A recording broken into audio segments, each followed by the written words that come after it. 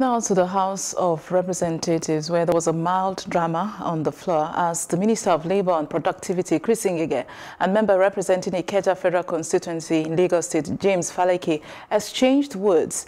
Ngige had been invited by the lawmakers over the illegal suspension of the management of the Nigeria Social Insurance Trust Fund.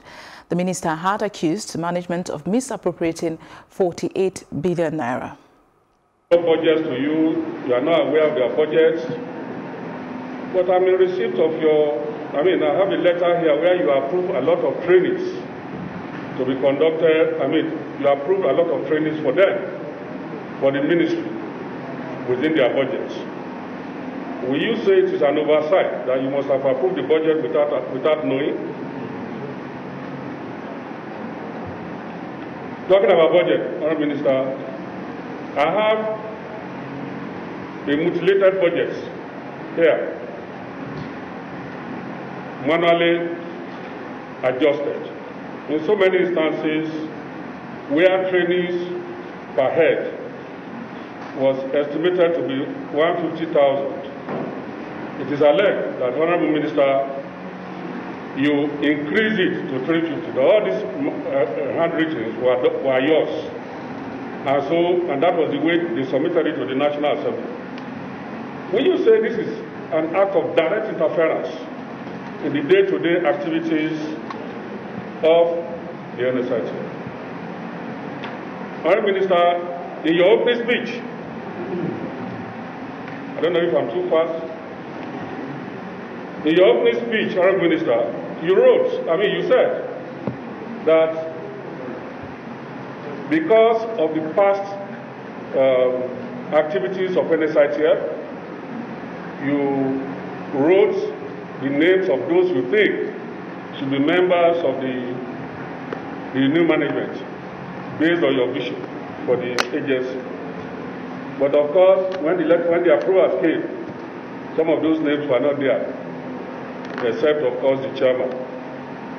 Will you say that your anger with them, with this management, is because your nominees were never taken from day one?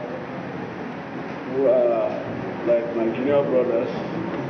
Except like they say it's up to 60, I don't know. I'm 60 plus. Ah, so you are near my age, but I'm at least seven years older than you, I'm sure. I'm the same age with your mentor in Lagos, Asiwaju. And I was governor with him at the same time. He was a senator, I was a senator. I'm a two-time minister, isn't a two-time minister. But he won all his elections very well. No problem about that. Just like you won your own in Kogi State very well. Yes. And uh, you are now the deputy governor and governor of Kogi State. Mr. Mr. Minister, please respond. Uh, I'm responding, my friend. If you have me, I have ten I, times. I, I won. I'm a Lagos boy. I'm a Lagos boy. You are just a small boy in Lagos. Uh, look at look at this boy. Mushin boy is talking to a, a BI boy. I live in Victoria Island. Look at Mushi boy. From Kogio. Yeah, yeah, yeah, Boroko, just go. I don't get time for you. Kilo share. That's why in the civil service, you started with spelling mistake. I correct spelling mistakes every day. Don't do so. I correct every day. Yes. Even when permanent secretaries has vetted.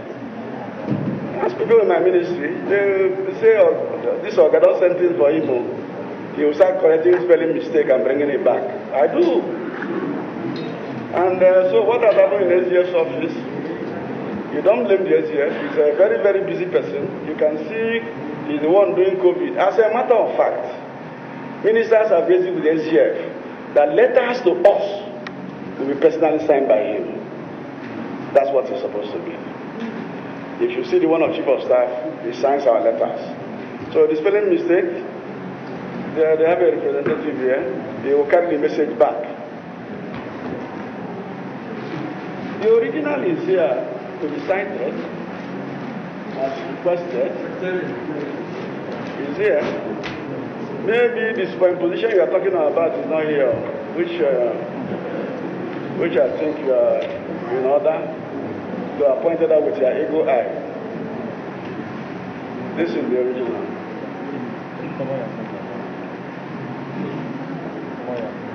You see, by the ingenuity of uh, parliamentary procedures, we managed to get the original from you. no, no, no, no. Uh, I just gave you the copy. I told you I, I have the original. You know, in, in, every, in every business, there's a trick. Yeah. You wouldn't have given us this copy. but you can see that even the spelling mistake is in that one too. so the original doesn't remove your spelling mistake. Foreign Minister, if I were SGF, uh, I would not accept this permanent secretary to send that letter to you. He's going. He's going in September. Give me benefit of the doubt. He, he, he's tired. I'm telling you. The man is tired. It's, it's, the, it's the most senior permanent secretary service. It is. GSO. GSO is number one. Number one. He will make mistake on a letter. Before he will sign, he will correct it. And he will, he will send it to the cabinet minister. I agree. I agree. I agree. I'll, I'll, I'll bring it to their attention. Thank you very much.